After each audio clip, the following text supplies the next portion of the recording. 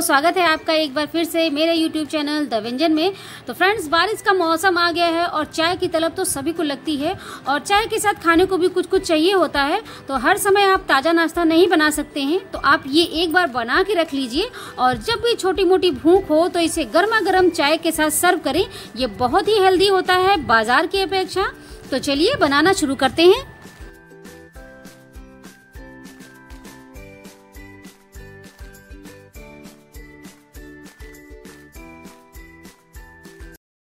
Friends आज मैं बनाने जा रही हूँ आटे और ये घर का जो आटा होता है नॉर्मल आटा और बेसन का बहुत ही टेस्टी सा नमकीन। तो बहुत जो चाय लवर होते हैं ना, वो हर समय जब चाय पीते हैं तो उनको कुछ ना कुछ छोटा छोटा चाहिए होता है साथ में। तो मार्केट से अब बिस्किट, नमकीन खरीदने से कोई मतलब नहीं होता है। तो घर पे ही बनाएँगे हेल्दी सा, बढ़िया सा। तो मैंने यहाँ पे लिया एक कटोरी आटा। तो क्या करते हैं, सबसे पहले आटा हम लगाते हैं। तो आटे को हम क्या करेंगे बॉल में गिरा देंगे। तो ये आटा है और बेसन मैंने दोनों छान लिया था अच्छे से। अब क्या करेंगे हम इसमें? घी डालेंगे इसमें। तो ये देसी घी हमने लिया है, घर का है तो मैंने चार चम्मच पिघलाया था तो काफ़ी ज़्यादा हो गया है।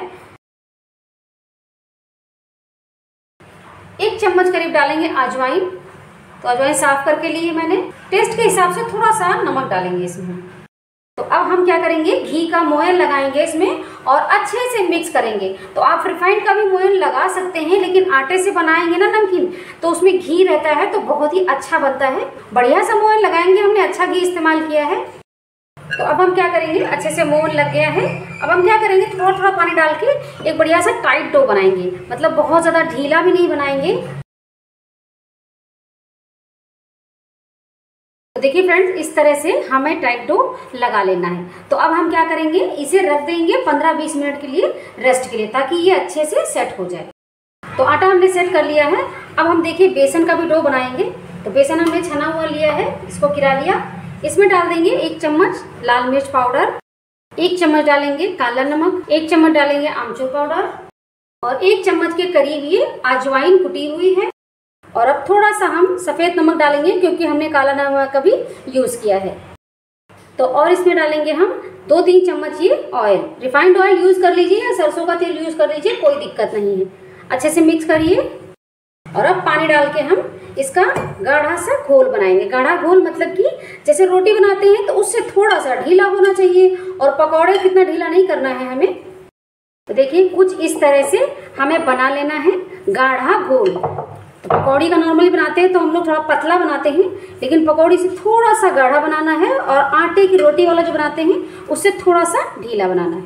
तो देखिए फ्रेंड्स ये रेडी हो गया है। अब इसे हम रख देंगे 10 मिनट के लिए साइड में। तो देखिए फ्रेंड्स आटा हमारा सेट हो चुका है 15 मिनट हो चुका है और अब इसे हम थोड़ा सा और मसल के इसको चिकना कर लेंगे थोड़ा सा। तो अब इसकी चार बराबर लोइयाँ बना लेंगे। तो बस अब इसे हमें अच्छे से गोल करके थोड़ा सा बेल लेना है। देखिए, इसे बस अब रोटी की तरह बेल लेना है।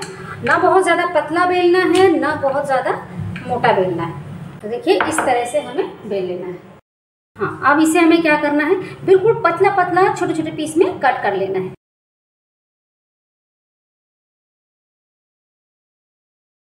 तो देखिए फ्रेंड्स जो बाकी लोइयाँ हमारी हैं, जो हमने बनाई हैं तीन चार तो उनको भी ऐसे ही हम पतला बेल करके मतलब छोटा छोटा पीस में कट कर लेंगे। तो देखिए फ्रेंड्स इस तरह से हमने छोटे छोटे पीस में बेल के कट कर लिया है। तो अब चलिए बेसन को देखते हैं। तो देखिए बेसन का जो डो है, वो भी बढ़िया अच्छे से सेट हो चुका है, इस तरह से। तो अब हम क्या करेंगे? इस तरह का जो झारा होता है, जो ग्लास होता है तो मैंने ये वाला इसमें प्लेट यूज़ करी है, जो ना बहुत मोटी है, ना बहुत पतली है। तो अब हम इसे, इसी में भर लेंगे। तो देखिए, जार मैंने भर लिया है और थोड़ा सा बचा है तो उसमें बाद में भरूँगी। तो बस इसे हम बंद करके सेट कर देंगे। तेल गरम हो चुका है, अब हम क्या करेंगे कि इसी में डाल के इनको हम तल लेंगे। तो बस इसको हल्के से ऊपर से टच करना है और इसे इस तरह से चलाते रहना है। तो जो आपको चिपके हुए दिख रहे हैं ना वो बाद में बिल्कुल पकने के बाद एकदम छोड़ जाएँगे, अपने आप से अलग हो जाएँगे और बहुत ही खुश्क बन के तैयार होंगे। खुश्क कहने का मतलब ये है कि जो क्रिस्पी बोलते हैं तो क्रिस्पी होते हैं, वो टाइट होते हैं, लेकिन बिल्कुल खुश्क बनेंगे आपके, बहुत अच्छे से बन के तैयार होंगे। तो फ्रेंड्स देखिए, बिल्कुल गोल्डन होने लगे हैं। तो ये मैंने इन्हें थोड़ा सा मोटा ही बेला था, ताकि ये फूले ना बहुत ज़्यादा, क्योंकि बहुत ज़्यादा जब पतला बेलो तो ये क्या होता है ना, फूल जाता है तो ऊपर की जो उसकी छिलका होता है ना, वो जब डिब्बे में रखते हैं तो आधे से ज़्यादा तो छिलका वेस्ट हो जाता है उसका। तो देखिए, इस तरह से मैंने बनाए हैं। तो ये फूले बहुत ज़्यादा नहीं फूले हैं, लेकिन फूल के अच्छे से मोटे हो चुके हैं। तो इस तरह से बस गोल्डन हो जाएगा और हम इसे निकाल लेंगे। तो देखिए, अब ये गोल्डन हो चुके हैं। इन्हें हम निकाल लेंगे। इसी तरह हम दूसरा वाला भी तल लेंगे। देखिए फ्रेंड्स मैंने तल के बना लिए हैं, छोटे साइज़ के अपने ये बिस्किट आटे के। तो मैं दिखाऊँगी आपको, तोड़ के दिखाऊँगी कितने बढ़िया से, इस तरह से देखिए। अंदर तक देखिए कितने क्रिस्पी बने एकदम। ये देखिए क्रिस्पी भी कैसे एकदम खुश्क बने हैं। मैं आपको दिखाती हूँ इस तरह से, ये देखिए। हाथ से जब मल रहे हैं ना तो ये देखिए।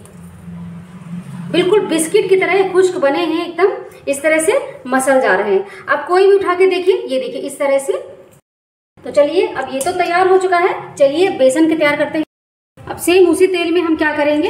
ये जो हमने बेसन तैयार करके रखा है तो बस उसी से हम बनाएँगे झारे में। तो देखिए, इस तरह से हम बेसन का जो नमकीन है बनाते हैं तो अभी थोड़ी देर से हम टच नहीं करेंगे, थोड़ी देर में इसे हम पलट देंगे। देखिए, एक दो मिनट मैंने इसे छोड़ दिया था, अब इसे हम क्या करेंगे? इस तरफ़ करके इस तरह से पलट देंगे। तो देखिए फ्रेंड्स ये गोल्डन हो चुके हैं। अब हम इसे निकाल लेंगे।